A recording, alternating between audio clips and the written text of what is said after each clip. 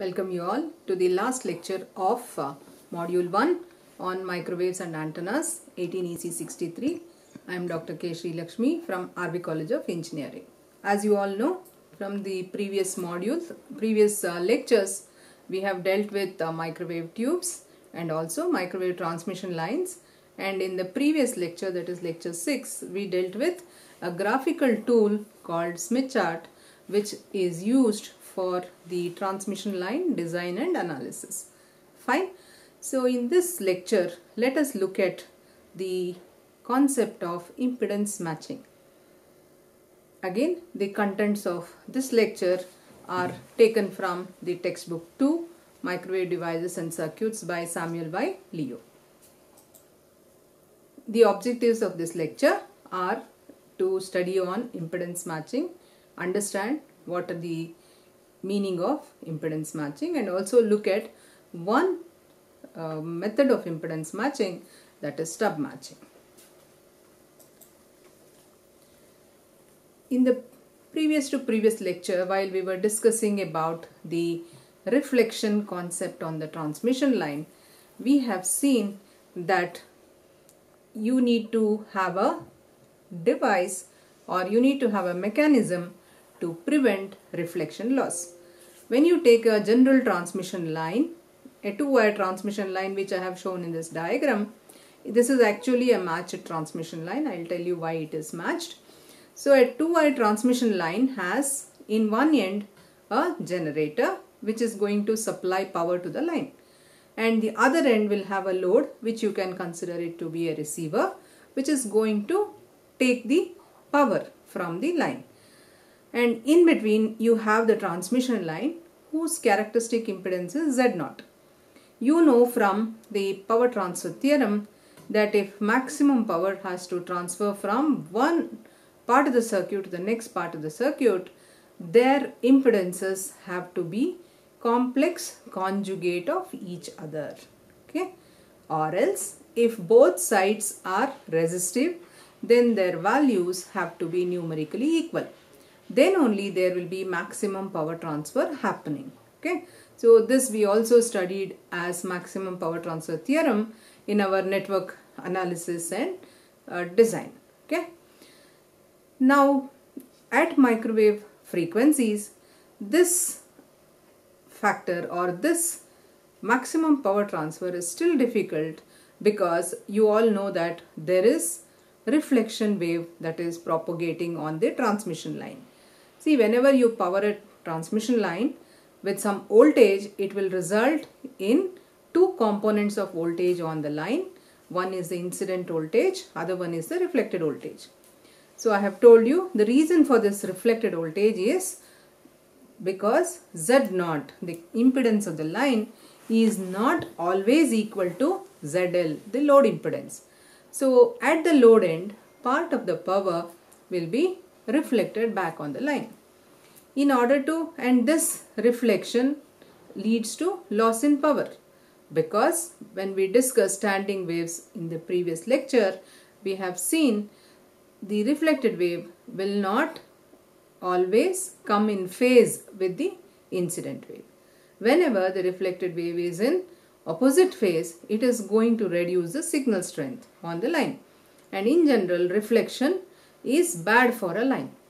In order to avoid reflection, we need to insert what are known as matching circuits or matching devices at both the ends wherever Z0 is coming in contact with a different Z.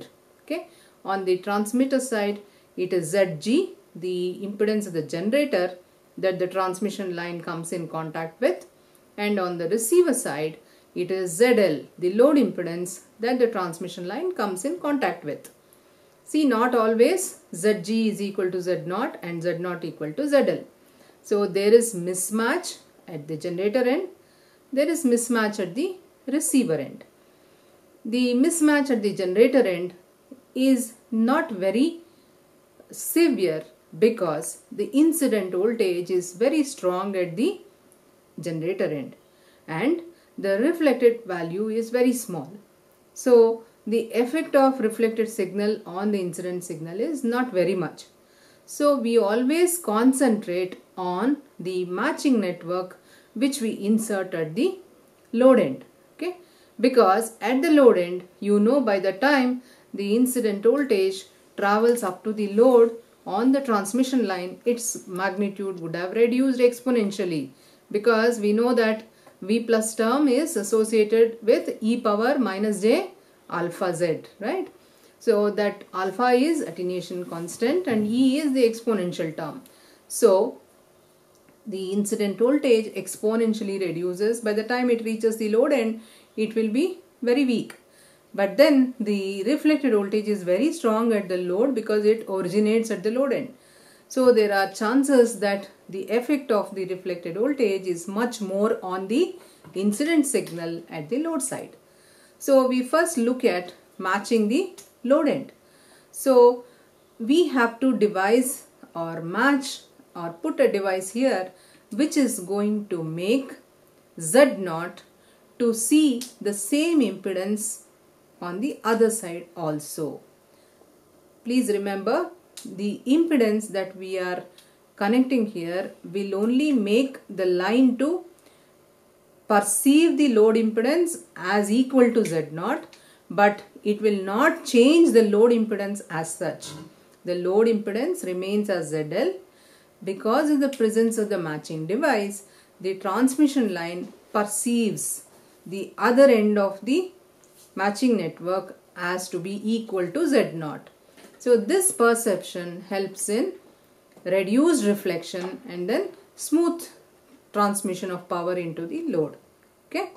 So this process of inserting a small device or a small network, passive network in place between the transmission line and the load and between the transmission line and the generator is called as impedance matching. We insert this device to set right the impedance mismatch. That's why it is called as impedance matching. Hope you all have understood what is the need for impedance matching and what is impedance matching. Okay. So the same thing I have explained here. So the need for impedance matching. We have seen two types of transmission lines in the previous lecture, isn't it? One is the flat line that is a line with no reflections and the other one is a mismatched line the line with reflections and power loss. Fine?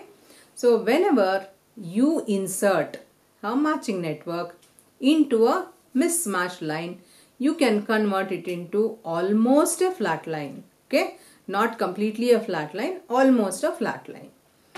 So we need to match it two ends on the transmission line isn't it? One is at the transmitter end other one is at the load end so if you do a matching at the transmitter end it is required to transfer maximum power into the transmission line and I told you as per the maximum power transfer theorem if you have to have the maximum power transfer from one circuit to other the impedances have to be complex conjugate of each other. I hope when you have studied complex numbers, you know what are complex conjugates. For example, A plus JB is a complex conjugate of A minus JB. Both A plus JB and A minus JB are complex numbers. One is the complex conjugate of the other. How did I say so? complex conjugate numbers will have their real parts equal and imaginary parts equal with a change in the sign associated. Fine. So this is complex conjugate. So such a matching is called conjugate matching. Okay. Then come to matching at the load end. This is needed to avoid reflections basically. Okay.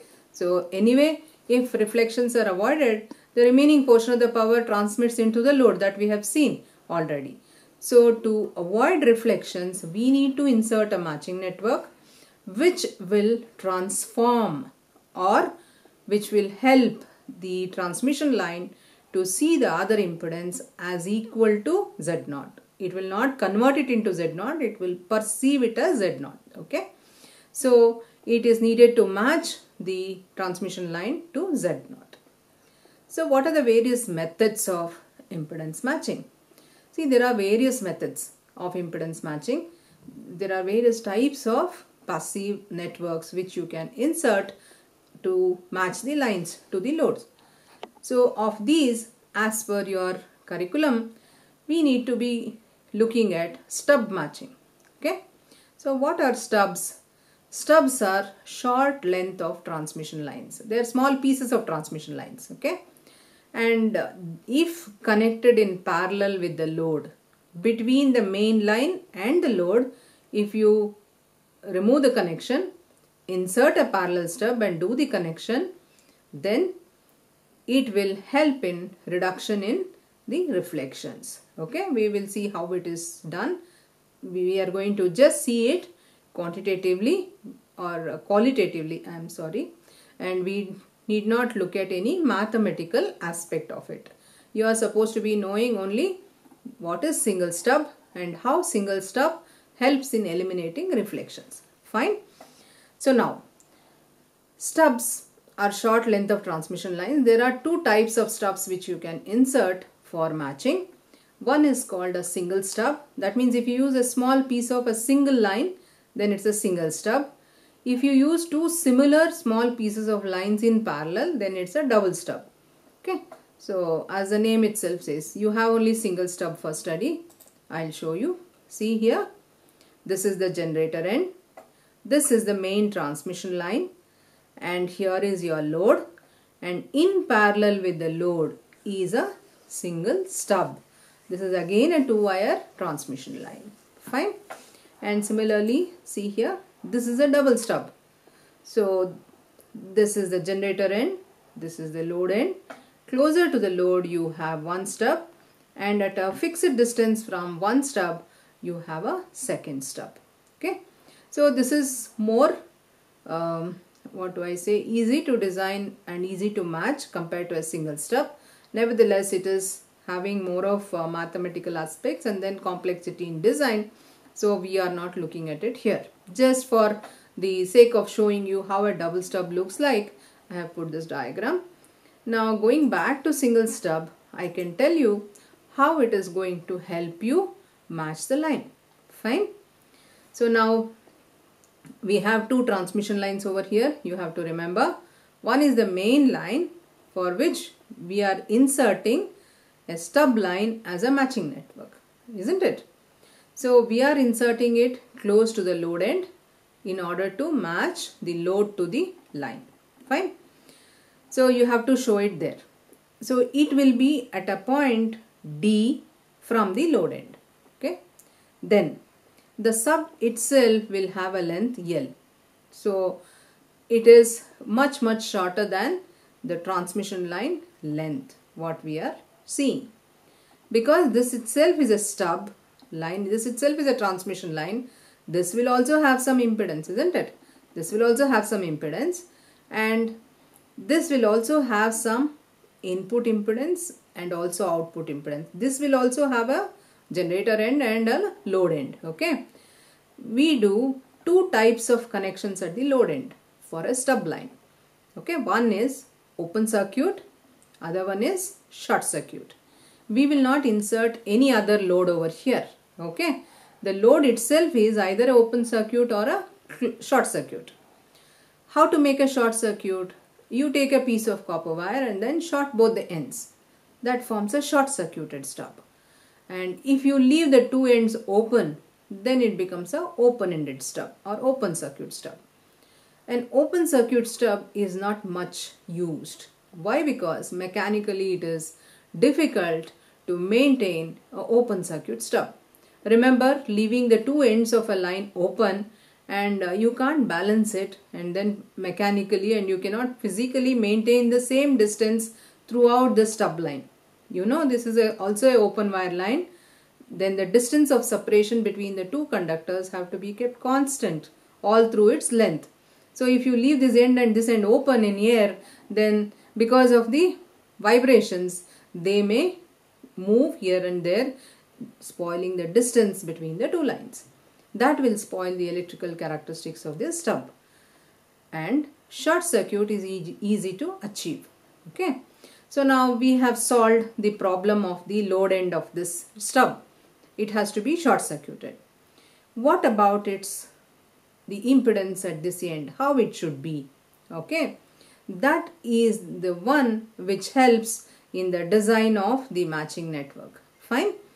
See here, we assume that it is a high frequency line because at high frequency line the characteristic impedance is what? It is real. It is equal to root of L by C, isn't it? There is no complex quantity in that. Okay, it is only a real number. Because of the mismatch between ZL and Z0, the impedance at every point of the line is not equal to just R0 or the Z0 value. It will have either plus or minus some reactive value. Okay. So by connecting this stub, we need to choose a point where the stub impedance and this impedance becomes has equal and opposite reactance. Okay. So we choose such a point which is at a distance d from the load end and then we insert this stub so that the effective impedance at this point and this point onwards is going to be just or not because the imaginary part of this component gets subtracted or gets cancelled by the equal and opposite imaginary part of the stub. So what are the design parameters in the single stub? One is what should be its load end, what should be its length, what is the distance at which it has to be inserted and what should be its input impedance. Okay. I am talking in terms of impedances but here you see Y terms Y11, YS, YD etc. That is, you know Y is the admittance value and small y is the normalized admittance, right? So why are we talking in terms of y's? Because whenever you are connecting in parallel, dealing with admittance is easier when dealing with impedance. You know, when you have two resistors or admittances in parallel, their effective admittance will be just sum of their admittances, individual values. So the design becomes simpler. That is the main reason we go for parallel connection. That doesn't mean we don't have series stubs. We do have series stubs. You can also insert the stub at this point in series. Okay. So that will a bit complicate the design. You can straight away deal with the impedances in that case. So hope you have understood. What is the need for single stub? First of all, what is a stub? It's a small piece of transmission line what is a single stub? If you use a single such small piece. Why do we need it? It is to match. It acts like a matching network. And why do we need the matching network? Because the line impedance is not equal to the load impedance. What happens if you don't use this? If you don't use this, there will be reflections from the load end and that is going to lower the power on the transmission line. Fine. So hope you have understood the complete module 1, the impedance matching and all the lectures. Thank you all.